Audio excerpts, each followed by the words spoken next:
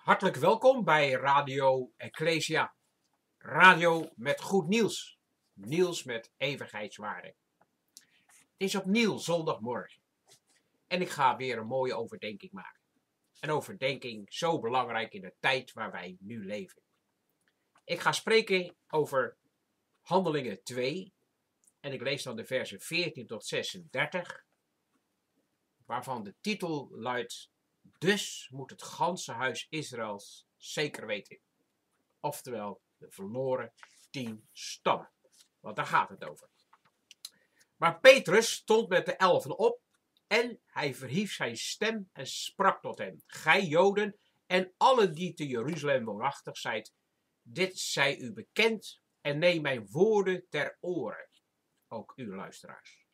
Want deze mensen zijn niet dronken zoals gij veronderstelt, maar het is het derde uur van de dag. Maar dit is waarvan gesproken door de profeet Joel. En het zal zijn in de laatste der dagen, zegt God, dat ik zal uitstorten van mijn geest op alle vlees. En uw zonen en uw dochters zullen profeteren, en uw jongelingen zullen gezichten zien, en uw ouderen zullen dromen dromen. Ja, zelfs op mijn dienstknechten en mijn dienstmaagden zal ik in die dagen van mijn geest uitstorten en zij zullen profeteren. En ik zal wonderen geven in de hemel boven en tekenen op de aarde beneden. Bloed en vuur en rookwalm. De zon zal veranderen in duisternis, de maan in bloed, voordat de grote en doorluchtige gedachte des Heren komt. En het zal zijn dat al wie de naam des Heren aanroept behouden zal worden. Mannen van Israël, hoort deze woorden. Jezus de Nazareer, een man u van Gods wegen aangewezen door krachten, wonderen en tekenen, die God door hem in uw midden verricht heeft, zoals gij zelf weet. Deze, uit de bepaalde raad en voorkennis van God uitgeleverd, hebt gij door de handen van wetteloze mensen aan het kruis genageld en gedood. God heeft hem opgewekt, want hij verbrak de weeën van de dood nadien het niet mogelijk was dat hij door hem werd vastgehouden. Want David zegt van hem, ik zag de Heer ten alle tijden voor mij, want hij is aan mijn rechterhand, opdat ik niet wankelen zou. Daarom is mijn hart verheugd en mijn tong verblijd. Ja, ook mijn vlees zal nog een schuilplaats vinden in de hoop, opdat gij mijn ziel niet aan het dodenrijk zult overlaten, noch uw heilige ontbinding doen zien. Gij hebt mij wegen te leven doen kennen. Gij zult mij vervullen met verheuging voor uw aangezicht. Mannenbroeders, men mag vrijheid tot u zeggen dat de aartsvader David, dat hij en gestorven en begraven is, en zijn graf is bij ons tot op deze dag. Daar hij nu een profeet was en wist dat God hem onder eden gezworen had uit een vrucht zijn lenderen op zijn troon te doen zitten, heeft hij in de toekomst gezien en gesproken van de opstanding van Christus. Dat hij niet aan het dodenrijk is overgelaten, noch zijn vlees ontbinding heeft gezien. Deze Jezus heeft God opgewekt, waarvan wij allen getuigen zijn. Nu hij dan door de rechterhand Gods verhoogd is en de belofte des Heilige Geestes van de Vader ontvangen heeft, heeft hij dit uitgestort wat gij ziet en hoort. Want David is niet opgevaren naar de hemelen, maar hij zelf zegt, de Heer heeft gezegd tot mijn Heere, zet u aan mijn rechterhand, totdat ik uw vijanden gemaakt heb tot een voetenbank voor uw voeten. Nu komt het. Dus moet het ganse huis Israël zeker weten dat God hem tot ere en tot Christus gemaakt heeft. Deze Jezus die gij gekruisigd hebt. We moeten goed bedenken dat het woord Christus betekent, toen Petrus dat uitsprak. Hij heeft dat in het Hebreeuws gezegd. Dan staat er, God heeft hem en tot Here, tot Messias gemaakt. Wat in het Nederlands betekent gezalfde. Het was Pinksterdag. Hier heeft de Heer zijn Heilige Geest uitgestort. Hier kwamen de mensen bij elkaar, verbaasd en opgewonden over die machtige dingen welke hebben plaatsgevonden. Hier worden de beloften aan hun vaderen gedaan werkelijkheid. De Heilige Geest wordt uitgestort. Zij waren gewone mensen. Maar het gebeurde heeft hen totaal veranderd. Ze werden aangegord met kracht en autoriteit. En Petrus staat op, vervuld met de Heilige Geest. En moet u nu de eerste woorden spreken tot de gemeente, de Ecclesia, de uitgeroepen uit het volk Israël, die zojuist was ontstaan. Deze Ecclesia is de boodschapper van God in de toekomende eeuw doorgegeven. Aan deze Ecclesia alleen. Dus de Ecclesia, die moet uitgaan op het grote bevel van de God. Bedenk dat deze toespraak de belangrijkste is voor de Ecclesia. Petrus moet het raamwerk van Gods plan uitdragen. Hier wordt gesproken over de grondwet van het gehele tijd van de christelijke dispensatie. Dit wordt toch ook gedaan als een politicus aantreedt en als hij voor de eerste keer spreekt. Dan legt hij zijn plan uit en de beginselen van zijn partij. Dit gebeurde ook op die Pinksterdag en daarom moeten wij goed opletten wat daar gezegd werd. Want ook wij mogen niet afwijken. Op een moment in zijn toespraak heeft Petrus gezegd dat zij naar de heidenen en naties moeten gaan en hun, heel, hun het evangelie moeten verkondigen. Nee, dat heeft hij niet gezegd.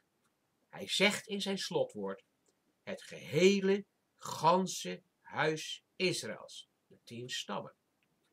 Dit is een belangrijke zaak, vooral in de tijd waarin wij leven. Ik zeg niet dat er geen andere mensen tot bekering kunnen komen. U moet mij niet verkeerd begrijpen. Als men door de Bijbel leest, dan is het altijd zo geweest dat Gods bedoeling is dat zijn volk Israël op de juiste plaats moet uitkomen. En dan gaat het niet om individuen, maar om een hele natie. Als Israël op de juiste manier met God wandelt, zullen de andere volken zien dat er een God in Israël is en ze zullen zo tot jaloersheid worden gewekt. Dan kan Israël zeggen, jullie goden zijn afgoden, onze God is de levende God.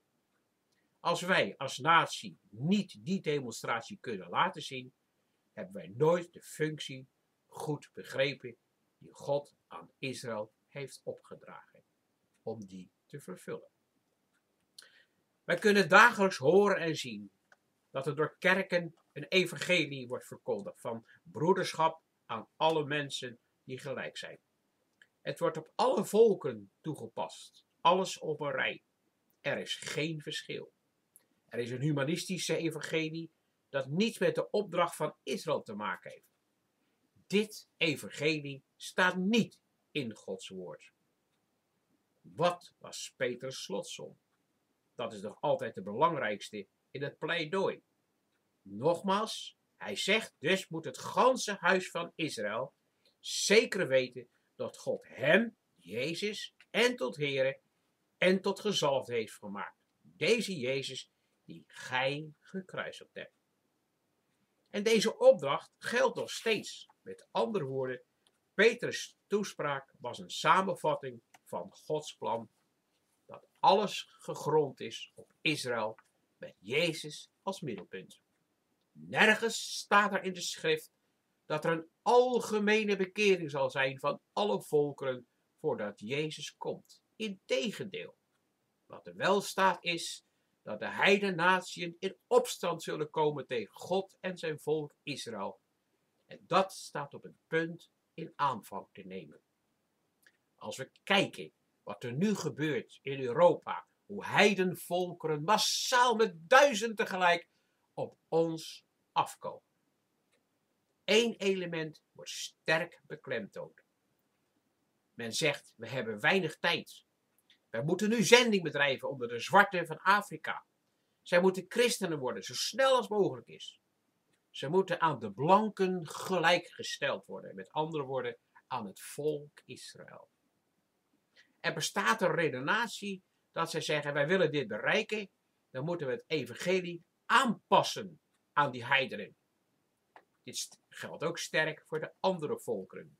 Israël moet eruit weggelaten worden.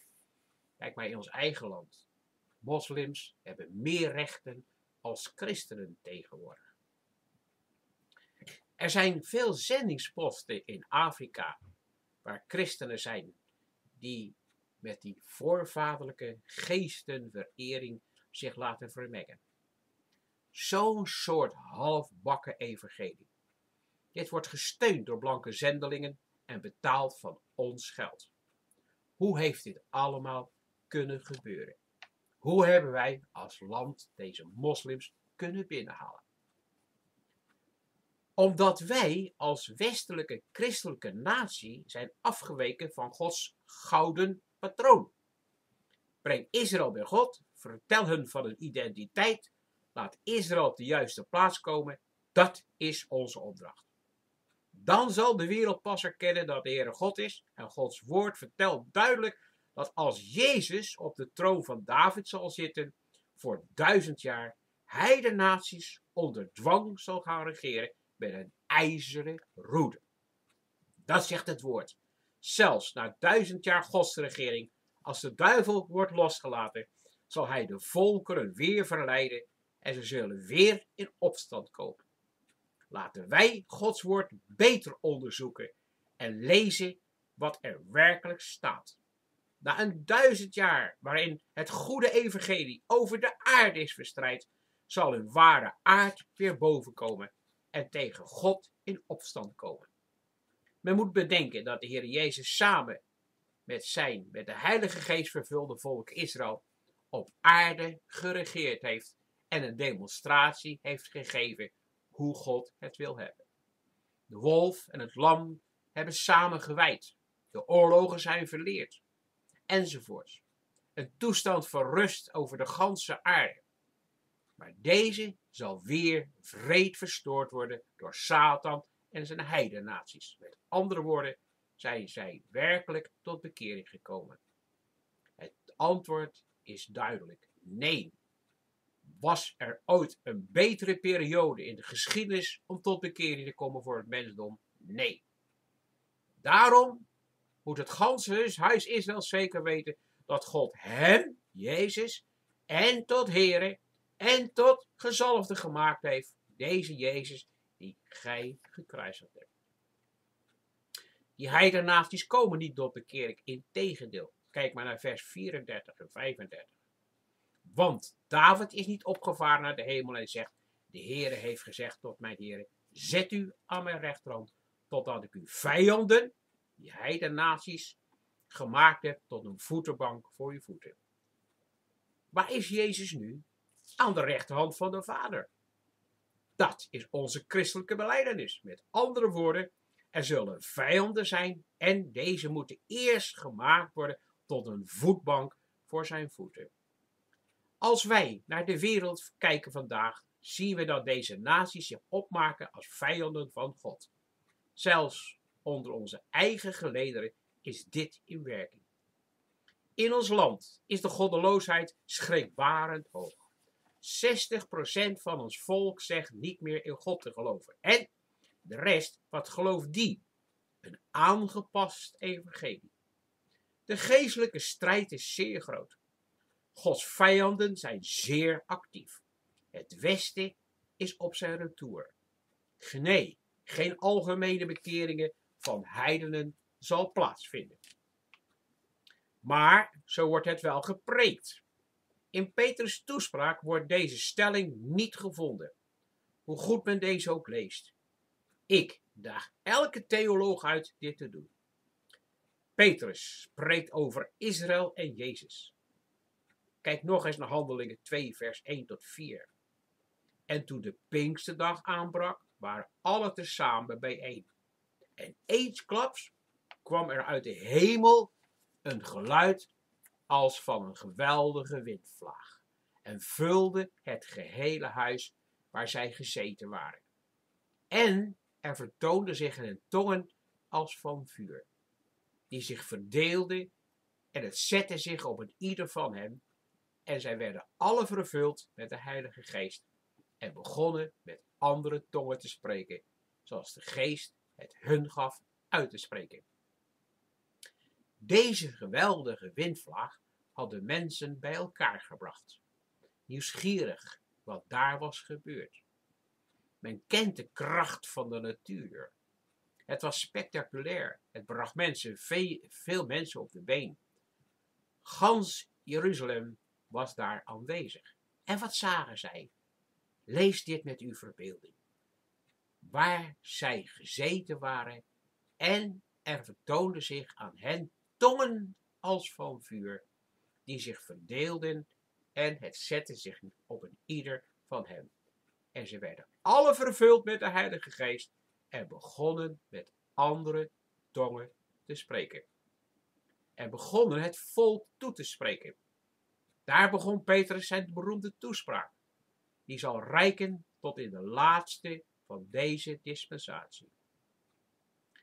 Hij zei, maar Petrus stond op met de elfen en hij verhief zijn stem en sprak, gij Judese mannen en alle die te Jeruzalem woonachtig zijn, dit zij u bekend en neem mijn woorden ter oren, want deze mensen zijn niet dronken zoals gij veronderstelt. Want het is het derde uur van de dag. Maar dit is het waarvan gesproken is door de profeet Joel. En het zal geschieden in de laatste der dagen, zegt God, dat ik zal uitstorten van mijn geest op alle vlees. En uw zonen en dochteren, van Israël natuurlijk, zullen profeteren en de jongelingen zullen gezichten zien. En uw ouderen zullen dromen dromen. Ja, zelfs op mijn dienstknechten en mijn dienstmaagden zal ik in die dagen van mijn geest uitstorten en zij zullen profiteren. En ik zal wonderen geven in de hemel boven en tekenen op de aarde beneden. Bloed en vuur en rookbal. De zon zal veranderen in duisternis en de maan in bloed, voordat de grote en doorluchtige dag des Heren komt. En het zal zijn dat al wie de naam des Heren aanroept, behouden zal worden. Petrus haalt de profetie aan van Joel. Lees Joel. Dan zult u zien dat de heidenen een aanslag zullen plegen op Israël. Het gaat over de bekering van Israël en haar benauwdheid. En hoe God Israël zou redden en vervullen met de Heilige Geest. U kunt de drie hoofdstukken van Joel uitkammen en geen verwijzing vinden dat het gaat over de redding van heidenen, maar wel hoe zij Israël aanvallen om haar te vernietigen. Maar wat maken onze predikers vandaag van Joel? Zij halen de volgende tekst aan. Zij zeggen dan, en het zal zijn in de laatste dagen, zegt God, zal ik uitstorten van mijn geest op alle vlees. En wat doen ze? En passen dit toe op alle heidenvolkeren. Met andere woorden, zij maken hiervan een preek over de doop met de Heilige Geest voor alle natieën. Helemaal uit zijn verband gerukt en totaal onschriftuurlijk. Kijk naar Hebreeën hoofdstuk 1 vers 1. Dan kunt u zien wat de Bijbel zegt over de laatste der dagen. Nadat God eertijds vele malen en op vele wijzen tot de vaderen gesproken had in de profeten, heeft hij nu in de laatste der dagen tot ons gesproken de. Met andere woorden, de laatste dagen zijn vanaf Jezus' eerste komst tot aan zijn wederkomst. En op de Pinksterdag is de Heilige Geest zijn werk onder Israël begonnen. Vers 22 laat ons dat zien. Mannenbroeders van Israël, hoor deze woorden. Jezus, de Nazareer, een man u van Gods wegen aangewezen door krachten, wonderen, teken, die God door hem in uw midden verricht heeft, zoals gij zelf weet. Er waren mannen uit alle volkeren bij name genoemd. Dit waren allemaal Israëlieten. Heidenen zouden niet zijn toegelaten. Dat was onmogelijk. En op deze Israëlieten heeft de Heere God zijn geest uitgestort. Want er staat, en ik zal wonderen geven in de hemel, boven en tekenen op de aarde beneden, bloed en vuur en rookbal. En de zon zal veranderen in duisternis en de maan in bloed, voordat de grote, doorluchtige dag des Heren komt. En het zal zijn dat al wie de naam des Heren aanroept, behouden zal worden. Het hier aangehaalde gedeelte van Joel is op Pinksterdag niet gebeurd, want dit ligt nog in de toekomst verborgen. Die doorluchtige dag des Heren is de dag dat de heidenen zullen oprukken naar Jeruzalem om oorlog te voeren. Dat is wat de profeten hebben voorzegd in opdracht van God. Op die dag zal God afrekenen met de heidenen en Israël verlossen. Dit is die doorluchtige dag des Heren. Daarom kunnen wij dit nooit toepassen in een algemene prediking. Pas op, wij kunnen ons eigen evangelie prediken. Maar als wij niet bij de schrift blijven, zal God dit verwerpen. Pas op, wij dragen een grote verantwoording in deze voor ons Nederlandse volk, die deel is van het volk van God. Laten wij eens ingaan op de profeet Joel. Want er staat, en het zal in de laatste dagen, zegt God, zal ik uitstorten van mijn geest op alle vlees. En uw zonen en uw dochteren zullen profeteren en uw jongelingen zullen gezichten zien. En uw ouderen zullen dromen. Ja, zelfs op mijn dienstknechten en mijn dienstmaagden zal ik in die dagen van mijn geest uitstorten en zij zullen profiteren. In de algemene prediking wordt het toegepast op alle naties. Maar het is juist geen boodschap voor alle mensen. Het geldt alleen voor Israël. Petrus heeft aangehaald uit Joel en Joel is een profeet voor Israël. Lees hoofdstuk 1, vers 7. Hij heeft mijn wijnstok tot een voorwerp van ontzetting en mijn vijgenboom tot een geknakte stam gemaakt. Het heeft de schors geheel en al afgeschild en weggeworpen. Zijn ranken zijn wit geworden. In deze symboliek worden de tien stammen van Israël afgeschilderd als wijnstok en Juda als vijgenboom. Heiligen vasten, roep een plechtige samenkomst bijeen. Vergadert gij oudsten, alle inwoners des lands, tot het huis van de Heere, uw God, en roep luiden tot de Heere. Wee die dag, want hij is de dag des Heeren. Als een verwoesting komt hij van de Almachtige. Staat in Joel 1, vers 14. Dit is de dag dat de Heere met Israël, dat de Heere van Israël met de heidenen zal afrekenen. En in het tweede hoofdstuk gaat het verder. Daar staat, blaas de bezuin op Sion en maak alarm op mijn heilige berg. Dat alle inwoners des lands sidderen, want de dag des Heren komt. Want hij is nabij. Een dag van duisternis en van donkerheid. Een dag van wolken en van dikke duisternis. Als morgenrood uitgespreid over de bergen is een talrijk en machtig volk.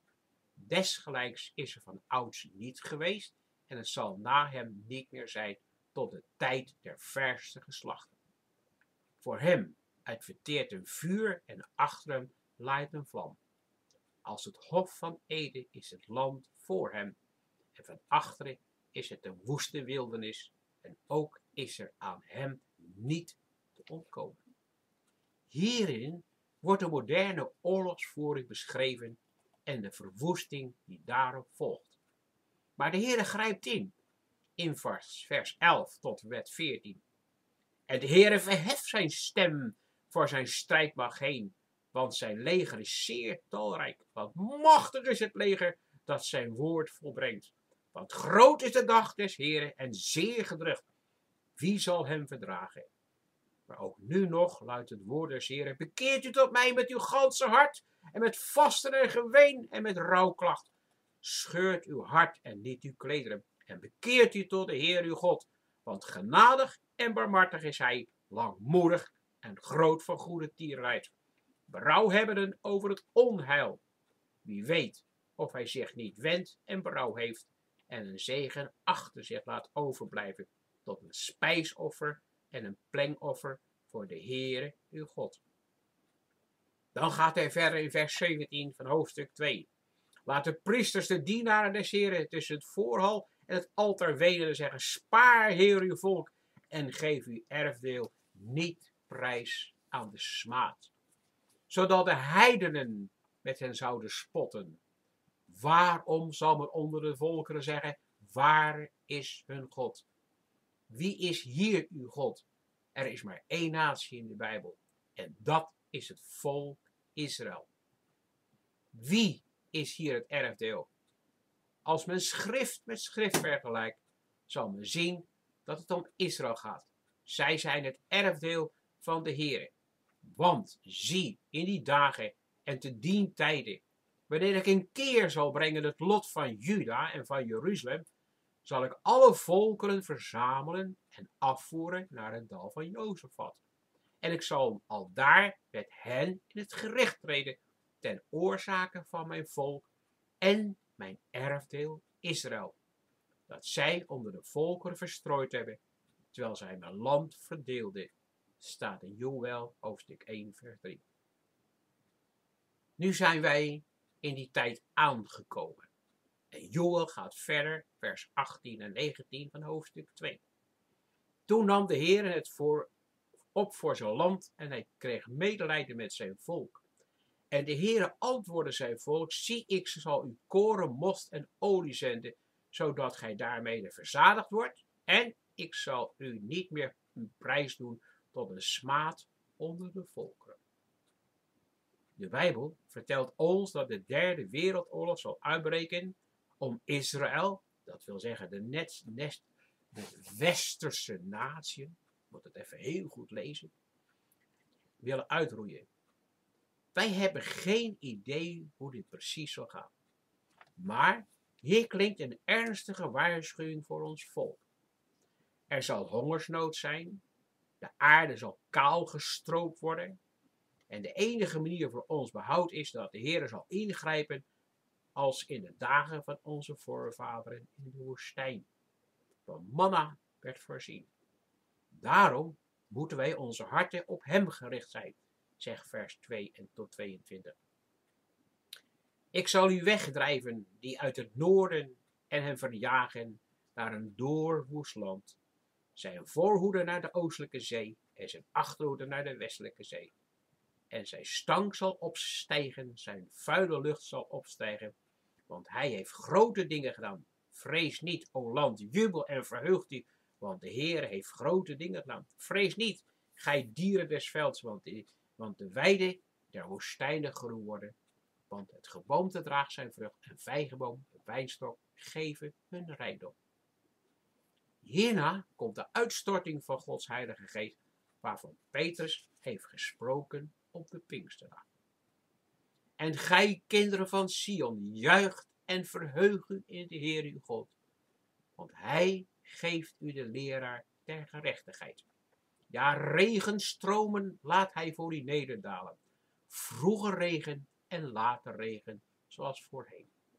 De dorsvloeren zullen vol koren zijn en de perskuipen van most en olie overstromen. Ik zal u vergoeden de jaren toen de sprinkhanen alles opvrat en de verslinder en de kaalveter en de knager met zijn groot leger, dat ik op u afzond. Dit is luisteraars wat nu gebeurt. Kaalvreters komen massaal op ons land. En onze overheid doet niets. Onze koning gaat naar een heidense natie, naar China. Juist bij die heidenen horen, die het Westen zal overvallen. Zoals hij ook ging naar Rusland en zijn bondgenoten. We gaan verder. Gij zult volop en tot verzadiging eten, want God grijpt in. En gij zult loven de naam van de Heer uw God, die wonderbaar met u gehandeld heeft. Mijn volk zal nimmer meer te schande worden. Dan zult gij weten dat ik in het midden van Israël ben. En dat ik de Heer uw God ben en niemand anders. En mijn volk zal nimmer te schande worden. Want kijk, dan wordt er gezegd, daarna zal het geschieden dat ik mijn geest zal uitstorten op al wat leeft. En uw zonen en uw dochters zullen profiteren en die ouders zullen dromen dromen en jongelingen hun gezichten zien. Men kan nooit de schrift uit zijn verband halen, want de heidenen zullen geen heilige geest ontvangen. Het getuigenis van Petrus op de Pinksterdag is de voorbode van de derde wereldoorlog. Die finale slag van de heidenen tegen Israël. Onze generatie zal dit meemaken. Laten wij ons verdiepen in de Heilige Schrift, waarin onze erfenis is opgetekend. Laat u vullen met Gods geest, Israëlieten van vandaag, en wees gereed om de Here te ontmoeten. Want laat het huis van Israël, Nederland, zeker weten. Petrus heeft ons gewaarschuwd. Laten wij de valse profeet ontmaskeren. Anders zullen wij deze gebeurtenissen niet overleven. Daarom moet het ganse huis Israël zeker weten dat Jezus tot Heere en Messias is. Mogen de God van Abraham, Isaac en Jacob ons volk vervullen met de Heilige Geest, zodat we tot rouw en bekering komen. Dat de verdrukking die nou op ons afkomt verschrikkelijk zal zijn. De politiek liegt, bedriegt. Herderlijke leiders van kerken zijn niet te vertrouwen met hun valse evangelie.